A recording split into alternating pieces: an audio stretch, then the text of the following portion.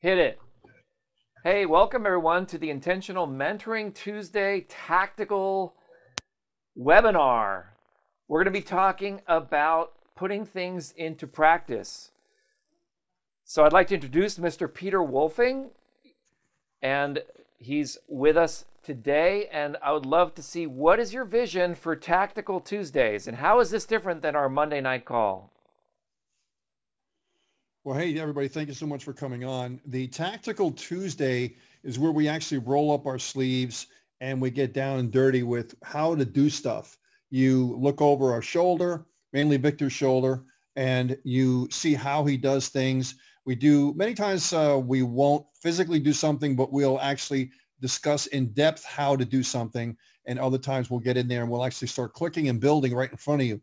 So a Tactical Tuesday is the nuts and bolts of doing marketing and doing sales and building funnels and the like. So it's a little bit different than our mindset calls on Monday, and it's different than our deep dive uh, calls, which is more marketing and promotional stuff, which is on Thursdays.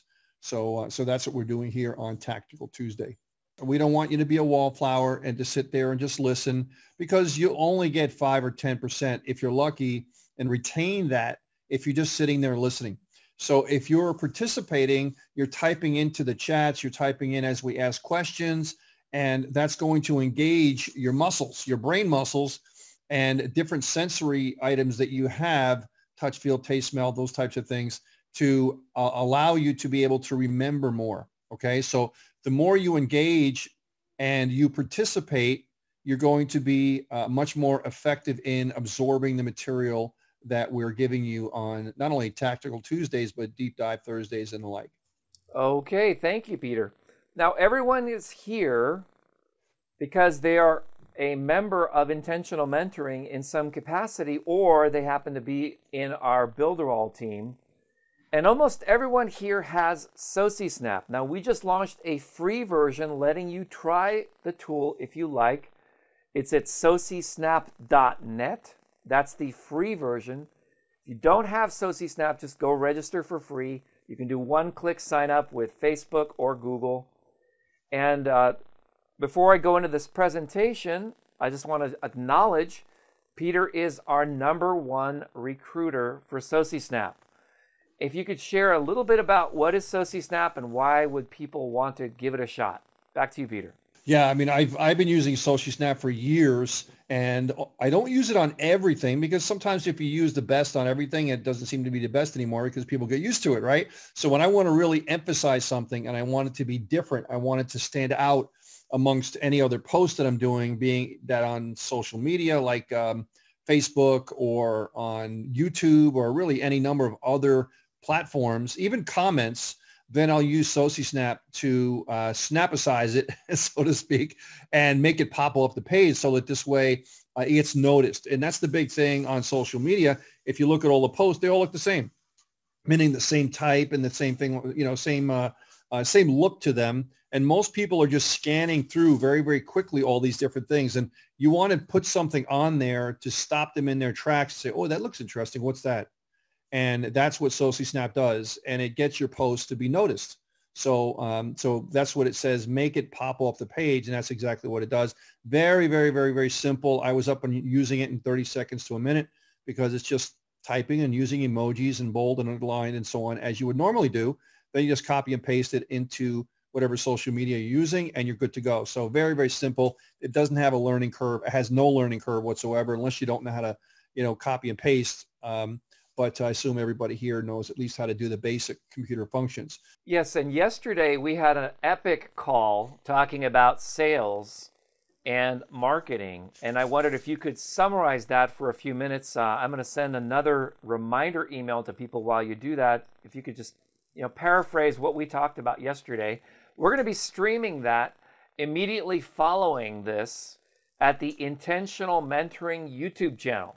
So go to YouTube Search for Intentional Mentoring and become a subscriber and be sure to click that bell notification and click the all button so that every single time we upload a video to Intentional Mentoring, you'll get notified on your phone. So why don't you summarize in a few minutes what we covered in the sales masterclass because today is going to be a continuation of that. Yeah, Monday is great because we do uh, an entrepreneur masterclass on every Monday night, and it's really mindset. Okay, mindset is ninety percent of the sales process, and we talked about marketing and sales. What's the difference? Marketing is kind of prepping the uh, the the person before they get to the process where then you try to sell them into your program, okay, or or buy your product. And we talked that sales is not something to be feared. It's not something to be like, oh, it's a bad thing. Sales makes the world go round, people. it really does. And uh, if you learn how to be a professional, world-class salesperson, you do it ethically, professionally, and people enjoy and they really like when you sell them something and they should want to buy something from you, right? Because you're selling them something that's going to help and enhance their life. So uh, we talked a lot about those types of details and in, you know, presentations and, and all these different types of things. So um, sales, after you get the person to the actual page where they're going to actually make a decision, that's where the sales process comes in. The marketing is is prepping them through many different steps before you actually get there. That could be through email. It could be through text. It could be through the website. It could be videos. It could be all sorts of stuff like that. And when they're in that buying position, that's when you come in as a sales professional if you want to engage with them. Now, you can go through the whole process and never talk to the person, which is, I guess, the siren call of what people want in network marketing.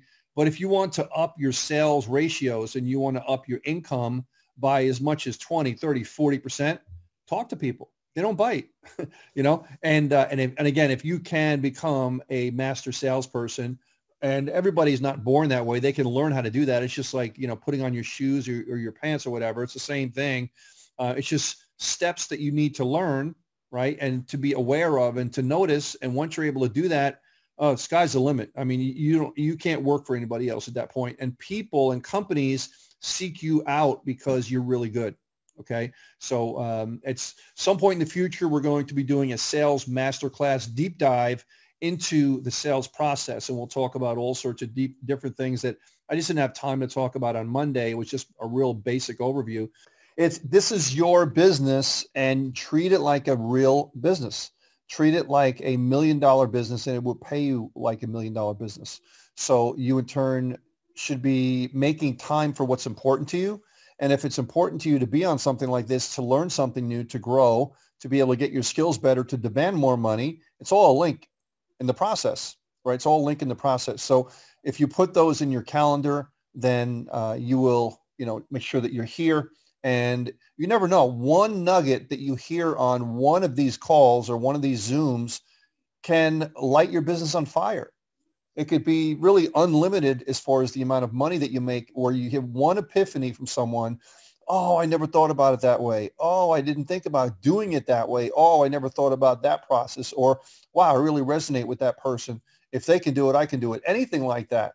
So if you're you're on these, you can get one of those. I've had that happen to me so many times on uh, conference calls and Zooms and so on over the years, where I heard one idea and I implemented that idea and made $100,000.